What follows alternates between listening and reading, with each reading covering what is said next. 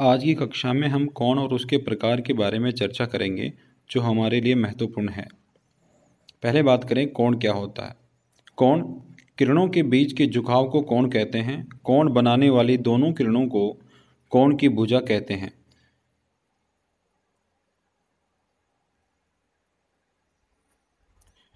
कोणों के प्रकार। कोणों के मुख्य रूप से सात प्रकार होते हैं शून्य कोण न्यून कोण समकोण अधिक कोण, ऋजुरेखीय कोण, वृहद कोण और संपूरक कोण।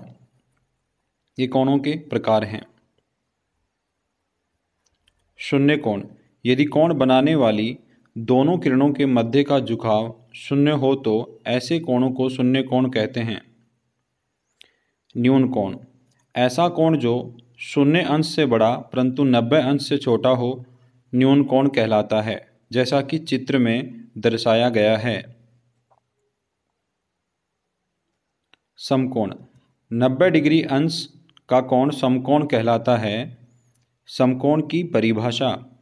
ऐसा कोण जिसे बनाने वाली दोनों किरणों के मध्य का झुकाव अंश 90 डिग्री का हो तो वह कोण समकोण है, जैसा कि चित्र में दर्शाया गया है। अधिक कोण।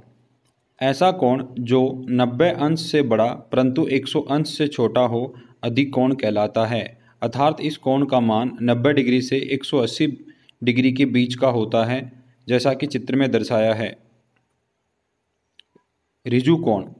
180 डिग्री अंश का कोण रिजु कोण कहलाता है। रिजु कोण की परिभाषा। ऐसा कोण जिसे बनाने वाली दोनों किरणें एक दूसरे के विपरीत दिशा में हों, रिजु कोण कहलाता है। वृहद कोण।